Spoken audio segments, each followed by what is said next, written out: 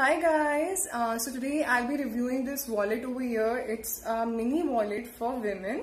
It's by the brand Miniso. So let's get started with the review of this product. First we're talking about its price. So it retails for 448 rupees. I bought it from a nearby Miniso store.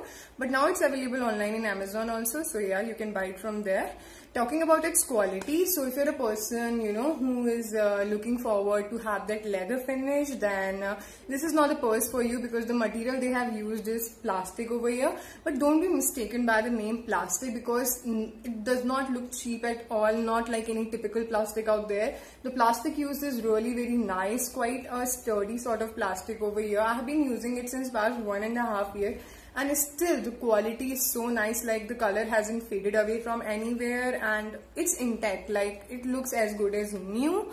Uh, and then talking about the space so you have this bigger pocket over here where you can keep all your notes and important documents. Uh, then over here you get a transparent transparent pocket over here uh, where you can keep you know the things that you want to see like your photos and all. Then over here is again a pocket over here, then three sub pocket, then again a pocket over here, and then three sub pockets. So space wise, it's quite spacious. It has many pockets inside it.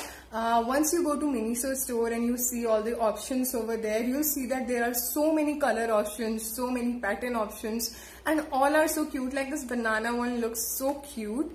I carry it on a daily basis because it looks quite fashionable and at the side, at the same time it's quite compact and it's quite spacious. So yeah, it's really very travel friendly and stylish at the same time. So if you're looking forward to buy, uh, you know, mini wallet, then I'll say that uh, just go and check out Miniso store because each and every wallet is quite affordable and quite unique at its own way and it's quite cheap.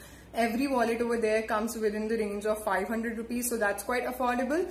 And yeah, if you're looking forward to buy this purse, I say go and buy it. The quality is really very nice. Don't uh, think and uh, don't wait and think about it. You won't regret buying it. So that was my review for this purse. Thank you.